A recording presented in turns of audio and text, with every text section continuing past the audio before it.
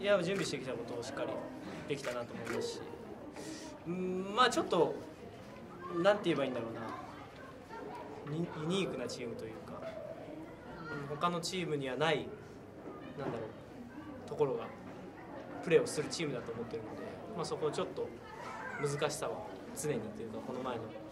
戦秋田での2戦も含めあるんですけど、まあ、しっかり対応してチームとしていいあのプレーができたかなと思います。まあなんかやっぱりディフェンスの寄り方だったりそのなんかヘルプの仕方だったりっていうところで結構思わない自分がなんだろう予期してないところからヘルプが来たりっていうことがあったので、うん、それを、まあ、秋田でもあの結構前にやった試合ですごく感じたので、まあ、ちょっとやりづらいなとは思ってましたけど、まあ、こうやって勝てたのはすごくま良かったなと思います。いや最近本当に出だしはチームとしてかなりいいと思いますしもうリードそこでしっかり広げられてる試合がほとんどだと思うので、うんまあ、そこに関しては今シーズンはあんまり問題あったことはないかなと思いますし、まあ、1クォーターに限らず、まあ、誰が出てもやっぱ全てのクォーターの力というかその激しさを落とさずプレーできるのがやっぱ今のチームの強みかなと思います。いや出たら必ず何かをする選手なのでもうみんなそれを期待してベンチでもう待ってるんですけどまさか最後にあんなプレーを見せてくれるとさすがです。家が近いので近くに美味しいラーメンがあってめっちゃ行きます。めっちゃって言ってもあれですけどあの結構行きます。どんな話？いやどうですかね。あんまり覚えてないですけどもみさんとは大体くだらない話しかしないので。あの人と真面目な話は一切で。きないなんか芸能人の話とかラーメンの話してるって大宮選手は言ってましたけうーんそんな話してるけどもうおみさんとの会話はまあいつもその必要なものないんで覚えてないです。ためになる話が一個もないんで。ど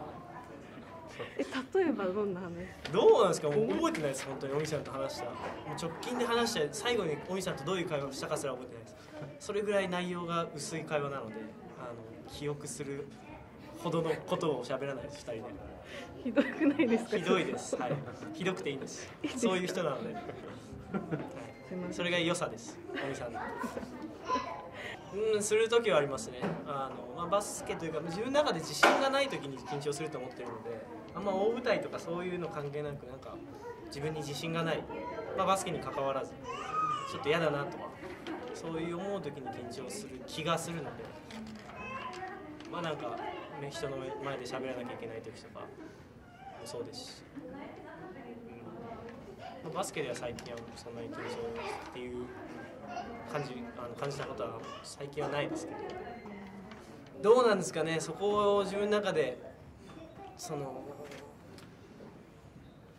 もう楽しめるかどうかだと思うので。まあもう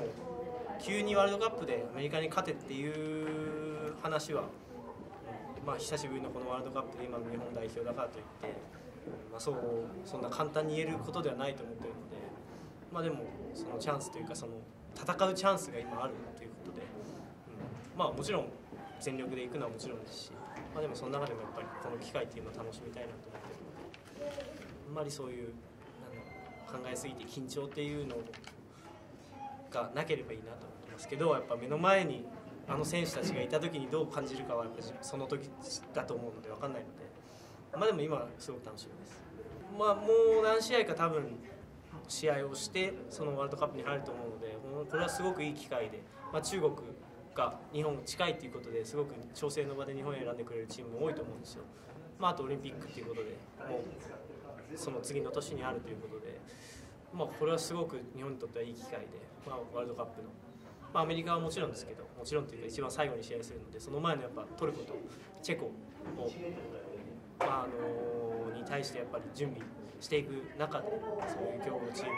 もう世界ランク上のチームと対戦できることは日本にとってはもう素晴らしいことだと思います。う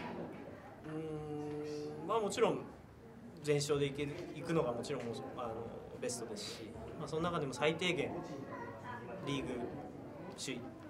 プラスやっぱり今もここまで来てるので、まあ、リーグ今までの最高記録であのリーグレギュラーシーズンを終えることがもう終えたいと思ってるので、うんまあ、そのためにまあ本当1試合2試合あというかもう落とせないゲームが続くので、まあ、選手としてというかチームとして、まあ、そこに向かってみんなであの進んでいければなと思います。